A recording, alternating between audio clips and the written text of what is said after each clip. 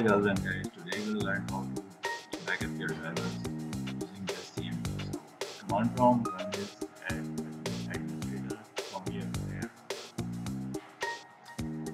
Now you have to type command.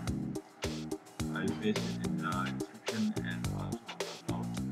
Copy it from there.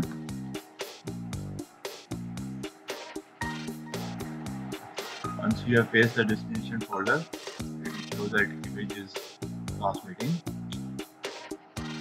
Wait till it upload all the image.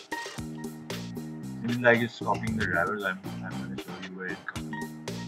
My location is the driver. Uh, on my file location. Okay. Now you will see two folders here. These. There you go. Your drivers are copying. And there you go. All the drivers are copying without any software. How can I restore these drivers?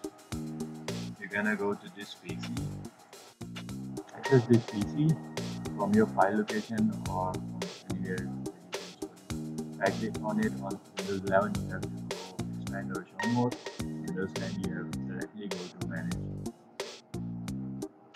I'm gonna click show mode and go to manage now these click on device manager. There you have all the drivers you have an explanation mark right? Click on it update then go to the location where you copied these drivers before. There you go. Select it click next. Now it will rearrange the driver. Thanks for